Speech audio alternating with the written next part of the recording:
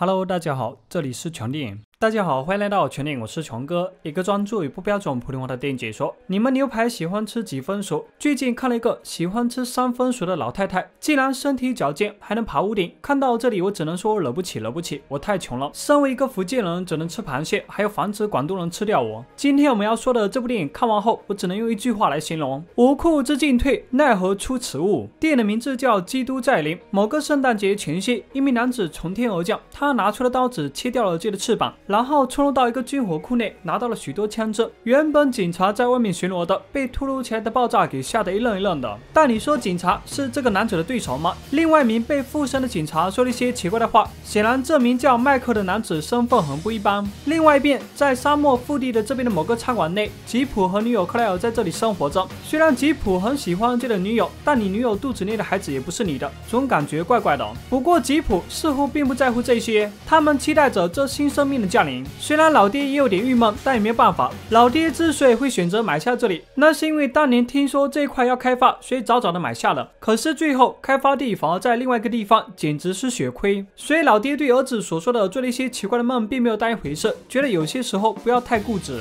不然会像我一样后悔的。他就是因为感觉这里会热闹起来，最后亏成了这样，也劝儿子放弃这个女友。某日，一家三口的车子坏了，被困在了这里。没多久，一名黑人男子似乎有什么事情需要前往某个地一点，但因为对路况不熟悉，最后迷路了，所以准备在这里打电话问问。毕竟在荒漠上，移动电话可是没有信号的。这一切似乎都很正常，直到吉普看到公路的另外一边竟然有一片可怕的黑雾，然后餐馆的电视也坏了，电话更是出现了问题。没多久，一名老妇人来到了这里，诡异的事情就开始发生了。老妇人点了三成熟的牛排和一杯水，然后询问克莱尔孩子的情况，更是热情的和那对夫妇打招呼。但随后吃牛排的画面有点小恶心，老妇人更是对克。莱尔还有那对夫妇说了一些不好听的话，惹怒了那名丈夫。没想到老妇人直接将他给咬伤，然后说大家都会死。之后直接爬上了屋顶，果然牛排吃得好，屋顶都能上。最后这名变的老妇人直接被干掉了，因为大家再傻也知道这名老妇人有点不对劲，还长着锋利的牙齿。原本他们想带着受伤的丈夫离开这里，但你说真的能离开吗？天空中那黑压压的一片，并不是乌云，而是无数的苍蝇。人要是暴露在外面，估计分分钟就会死。大家也被这可怕的景。象给吓到了，最后只能回来。没多久，电影开头的那名男子迈克尔出现了，说了一些神叨叨的话语。大家还以为他是警察或者刚才那种可怕的生物，最后才发现他都不是。迈克尔来到这里就是为了保护克莱尔，也就是我们的女主。随后，他们一行九人躲在了餐馆内，而那名受伤的丈夫显然撑不了多久了。迈克尔给每个人配了一把枪，随后他们将餐馆的大门给堵上了。时间换，天色渐渐暗了下来，餐馆更是停电了。为了安全起见，他们都爬到了屋顶上，对外面进。行监测，没多久，一辆诡异的冰淇淋车子竟然开到了这里。这一看就知道不对劲，毕竟大晚上你在沙漠中跑可是很不寻常的。果然，从车上下来的工作人员有问题，张开了血盆大口，四肢更是变得奇长无比。我原以为他的战斗力很强，谁成想一枪过去直接搞定。但事情显然并没有就此结束，越来越多的车子往这边开来，每个人都被附身成为了怪物。如果是成年人，或许大家直接动手，但下面还有一些孩子就不好说了。而受伤的丈夫成为了第一个。被抓走的人，第一波的攻击很艰难的抵御住了。麦克也趁着这个时候和大家讲述关于上帝的故事。他说，上帝第一次对人类失望就降下了灾难，而这次他又对人类失望了。外面那些着魔的人就是被派遣下来的天使。其实我一直以为是恶魔，想不到是天使。天使还长着獠牙，这个设定也没谁了。至于麦克，本来是天上的一名天使领袖，但他觉得上帝的决定是错误的，所以想要来帮助人类。而女主就是他要保护的人。一旦孩子降生，或许灾难就会结束了。孩子也是希望的象征。说完这一切，麦克表示，刚才只是对我们力量的测试，接着他们会冲击我们的心灵，谁的心灵最脆弱就会被影响。果不其然，没多久，那名女人就因为丈夫的事情逐渐崩溃。第二天，更是看到了被绑在外面的丈夫，但丈夫身上的脓包有多可怕？如果不是餐馆的黑人大叔用后背保护她，估计女人早就死了。至此，已经死了两个人。吉普的父亲非常的难过，因为这个老伙计跟了自己许久了，现在就怕这名疯女人做什么事情，只能先将她。给绑起来。众人还从广播中听到了一些大城市有很多被感染者聚集在一起，其中有个地方距离这边最近。有的人想要离开这里，但麦克不同意。不管他们去哪里，都会被那些人给追上的，所以躲在这里是最好的办法。女主还和吉普说了自己的真实想法，就是这个孩子本来是要打掉的，但终究没能去做，也因为这个孩子让他陷入到万劫不复。但作为一个太合金备胎男，显然是不会在乎这些的。吉普表示我会照顾你和孩子的，好吧？这备胎的行为我实在看不下去了。此时，黑人大叔和那对夫妇的女儿在屋顶上巡逻，两个人也在那边闲聊。没想到这边的灯突然亮了起来，原来有人开车逃到了这里。黑人大叔为了救他们，直接冲下去开枪，但他想要救的孩子竟然也被人附身了。如果不是迈克尔冲出来救那个妹子，估计那个妹子早就死了。好在这一段有惊无险，不过也因为这么一下，女主似乎要生了。而此时外界无数被附身的人围堵在餐馆这边，孩子的啼哭声让外界的人慢慢恢复了正常。但可惜那名女人已经疯了，准备带着孩子去换取他们的安全，这简直是疯子的行为。就在此时，另外一名天使来到了这里，面对有翅膀的天使，吉普的老爹直接被干趴下。麦克让吉普带着女主他们先走，然后给了他一把钥匙，说找到先知，读懂那些指令，因为这个孩子可能就是救世的关键。没有翅膀的迈克根本打不过对方，最后直接被干死。但吉普他们真的能逃走吗？显然是不能的。虽然吉普的老爹临死前引爆了天然气，但并没有杀死对方。吉普开的车子遭到了袭击，更是发生了车祸。比起能飞的天使，几个人真的弱的一逼。好在迈克尔从天而降，因为他根本没有死。迈克尔说：“我懂他的意思，而你们却只是执行任务的机器。”说完这些，麦克干死了这对好基友，最后离开了。而女主他们还需要去寻找所谓的先知，寻找救世的办法。看到这里，我真的要破口大骂了。这显然并没有结束啊！但这部电影拍第二部显然也不太可能，就觉得分数不算特别高。好了，今天的视频就到这里，我们下期再见。